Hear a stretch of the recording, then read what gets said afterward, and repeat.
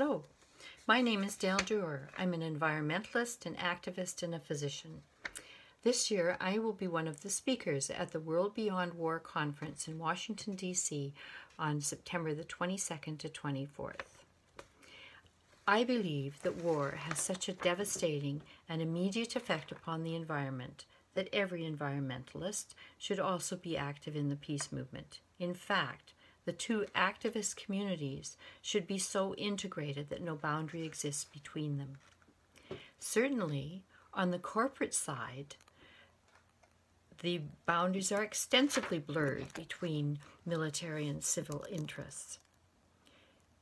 The same companies that build motorcycles and commercial aircraft uh, build armored tanks and jet and fighter jets. The same companies that make pharmaceuticals for health make chemicals for warfare.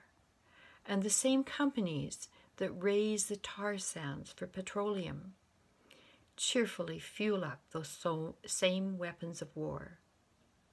So, where do environmentalists and peace movement specialists go to meet? This year, it's in Washington, D.C. at the World Beyond Wars Conference, September the 22nd to 24th.